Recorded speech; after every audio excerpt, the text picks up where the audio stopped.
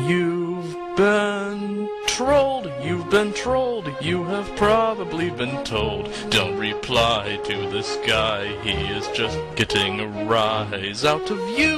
Yes, it's true, you respond and that's his cue to start trouble on the double while he strokes his manly stubble. You've been trolled, you've been trolled, you should probably just fold when the only winning move is not to play.